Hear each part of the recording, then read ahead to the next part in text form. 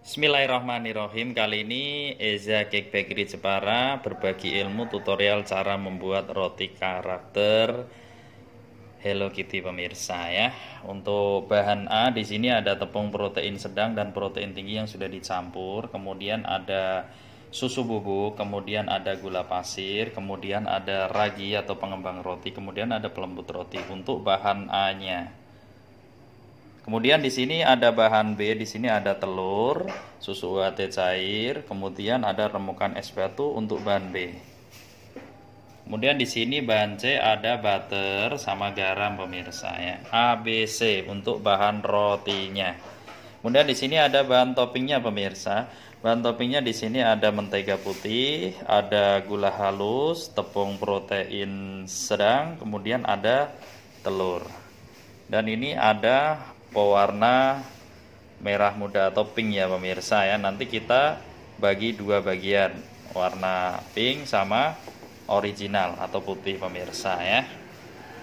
Oke pertama-tama eh, yang kita bikin yaitu ada toppingnya pemirsa ya. Semua bahan diaduk jadi satu ya. Pastikan nyampur sempurna ya. Pakai manual boleh pakai mix and mixer juga boleh ya pemirsa. Yang penting diaduk jadi satu. Oke pemirsa. Kemudian setelah nyampur rata adonan kita bagi dua ya pemirsa. Yang satu warna original yang satu kita kasih warna pink ya pemirsa. Kita bungkus pakai plastik segitiga. Oke pemirsa. Kemudian kita bungkus plastik segitiga ya pemirsa. Oke yang original kemudian yang ini kita kasih pewarna pink ya pemirsa. Kita aduk lagi pemirsa. Nanti kita bungkus plastik segitiga. Jadi jadi dua bagian. Satu topping ini ya pemirsa. Original dan warna pink. Aduk sampai menyampur rata.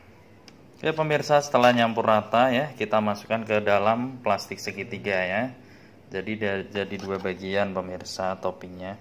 Oke ternyata sudah selesai pemirsa. Kita sisihkan toppingnya kemudian kita fokus di cara pembuatan rotinya roti karakter ya pemirsa. Pertama-tama bahan A kita masukkan itu ada uh, tepung protein tinggi dan protein sedang yang sudah dicampur jadi satu. Kemudian di sini ada susu bubuk ya pemirsa. Kemudian ada ragi sama pelembut Kemudian masuk gula pasir ya pemirsa untuk bahan A. Sebelum kita campur dengan bahan B, kita aduk manual pemirsa ya.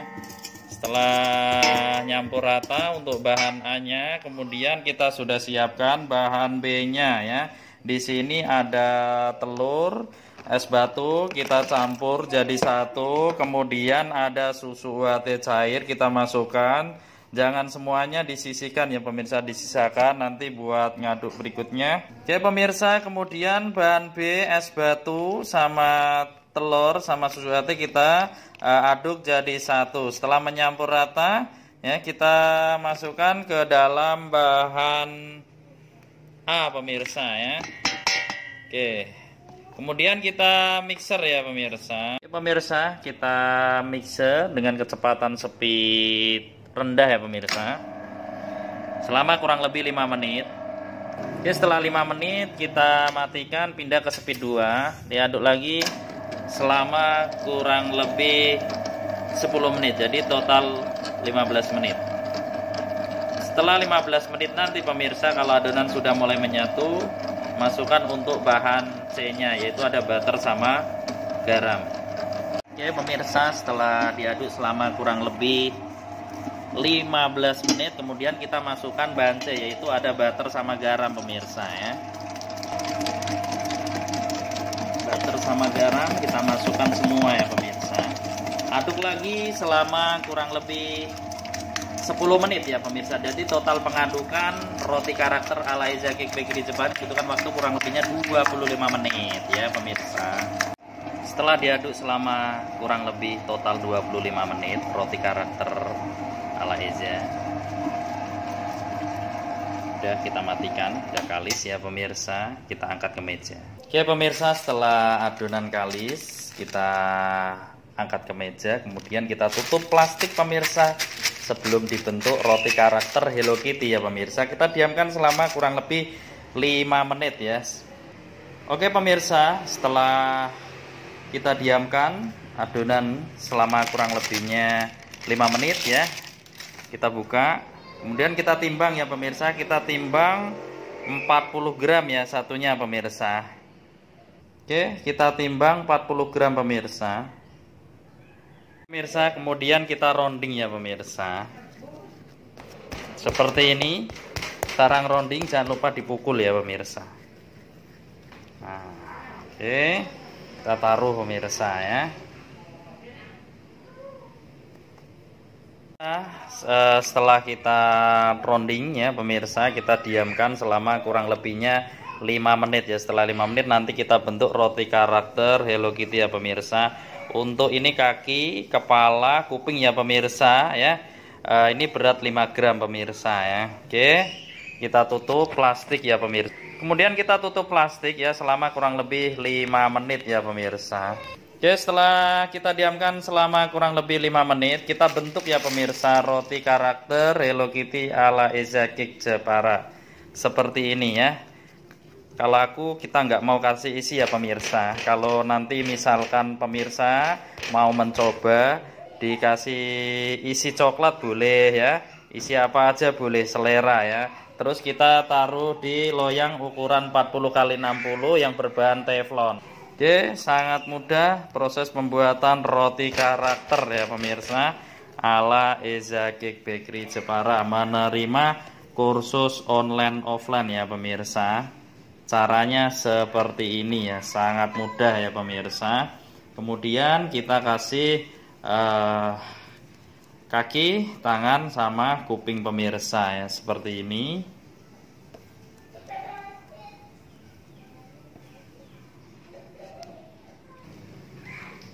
Sangat mudah ya pemirsa proses pembuatan roti karakter ya ala Ezakik Bakery Jepara pastinya ya pemirsa.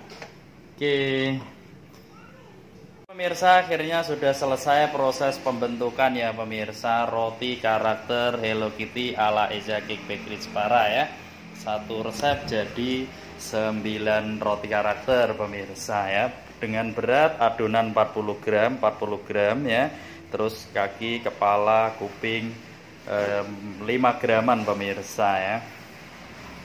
Terus kita diamkan selama kurang lebih 1 jam 45 menit ya. Setelah 1 jam 45 menit nanti kita topping ya. Sudah kita siapkan toppingnya pemirsa ya. Kita diamkan selama kurang lebih satu kurang lebih 1 jam 45 menit. Di suhu ruang aja pemirsa ya. Pemirsa setelah kita diamkan roti karakternya selama kurang lebih 1 jam 45 menit kita topping ya pemirsa. Teknik penopingan ya pemirsa. Seperti ini ya caranya sangat mudah sangat gampang ya. Nah seperti ini. Penopingan boleh dari bawah atau dari atas ya pemirsa. Sangat gampang sangat mudah ya. Proses penopingan roti karakter ya. Pastikan rapat jangan lupa kupingnya juga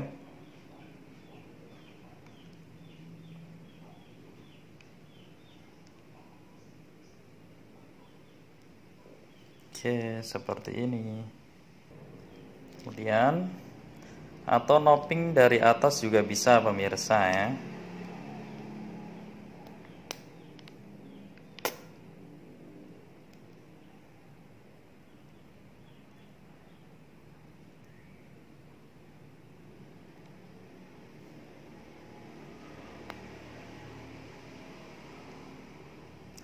sangat mudah ya pemirsa kemudian lanjut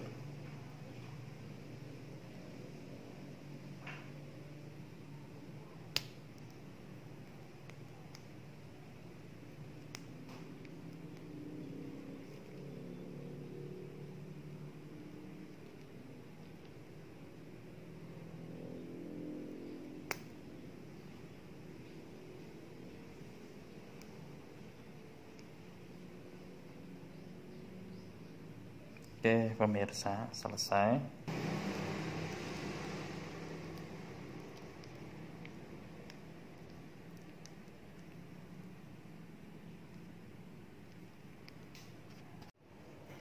Oke pemirsa, setelah kita topping semuanya untuk roti karakter Hello Kitty ala Eza Cake Bakery Jepara, kemudian kita oven ya pemirsa, kita oven di suhu api atas 100 155, api bawah 170 selama kurang lebih 22 menit. Kita oven pemirsa, roti karakternya, kita tutup. Kasih menit. 22 lebih 80 detik ya pemirsa. 22 menit lebih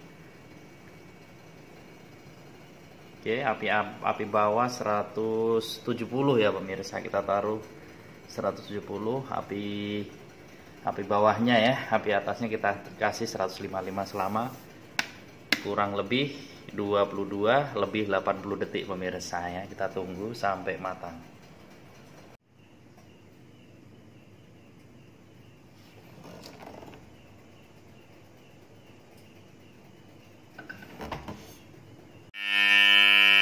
Oke pemirsa, setelah roti karakter Hello Kitty ya pemirsa, api bawah 170, api atas tadi di menit awal 155 ya pemirsa.